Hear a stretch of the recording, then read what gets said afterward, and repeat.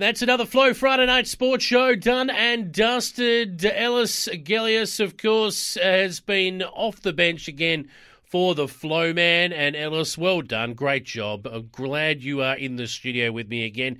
Maybe the Flow Man might get his seat back. Oh, I'll tell you what, Statman, always flying high with you. And I've got to say, I'm uh, almost tempted to sort of put a lock on this chair at the moment. Oh, uh, actually, hang on a minute. Uh, Flowman owns the stuff, so uh, he probably will come back. Uh, one of us is gone. yeah, oh, probably seemed inevitable. Oh, we'll fight to the death in the car park for it later on. Uh, it's been a lot of fun. Uh, I hope you hope you've enjoyed it out there wherever you're listening across our Flow network. What's the plans for Ellis Gelios this weekend? Bit of wedding emceeing, might get out to the fringe as well. And uh, aside from all that, probably just put the feet up and enjoy some sport over the weekend. How about yourself, Statman? Very much the same. I enjoyed the weekend in Woodner last weekend, but I tell you what, just between you and I, I'm looking forward to a bit of a spell this weekend too.